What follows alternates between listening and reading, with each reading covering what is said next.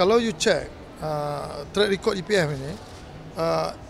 last year alone, I think the return that they got from overseas investment, uh, from equity and property and and all other instrument that they invest, is quite a good return.